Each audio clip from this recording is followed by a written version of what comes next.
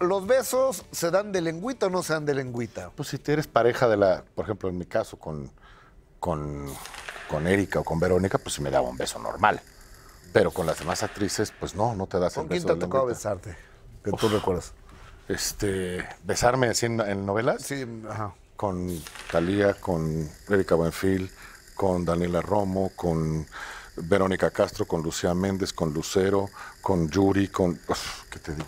¿Cómo ves a Talía? Con este Annette Michel, con pues con un chorro. No, bueno, con Talía fue cuando estaba chiquitita ella, pues, era- eran así, casi casi de besitos. Lucero.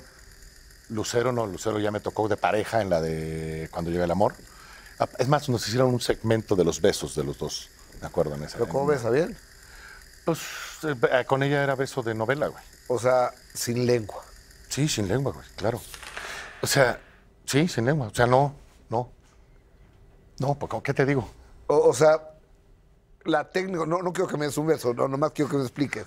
Mírenlo, ¿eh? No, por eso, no, no quiero que me des un beso. No, haces los mismos movimientos con la boca abierta, Ajá. o puedes mo- medio morder y todo, pero no metes la lengua, ni la, ni la pasas. No, no, sé, no. Puedes morder el labio, puedes, pero no.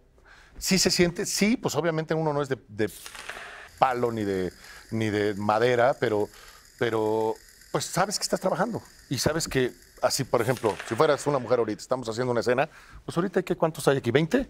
Imagínate una novela de 40, que están alrededor esperando que acabes esa escena para poder ir a su casa, cabrón. Entonces sí es como, haz la escena y dale, vámonos. Oye, y uno sie- siempre se tiene la idea de que el hombre es el pasadito. Usted tiene la idea. Es que los hombres, es que este güey es bien pasado. Entonces se aprovechó Pero hay de los también besos. mujeres que les... Es a lo que son bastante ligeras de, de pensamientos y pues, ¿qué te digo? ¿Alguien se ha querido pasar contigo, querido Omar? Este... Que no me lo vas a decir porque sería muy, muy, te lo diría. muy gay. Estás en la vida te lo diría, cabrón. Sería muy gay que me dijeras, ay, me quiso besar. me- ay, no me dejé. no, no, no, sí, este. No, pero, pero sí, sí había gente que decía, espérame, güey. O estabas en tu relación y dices, espérame. Y sí me pasó con dos personas. eh, eh, y pues espérame, esto no es. Ya de veras, esto es.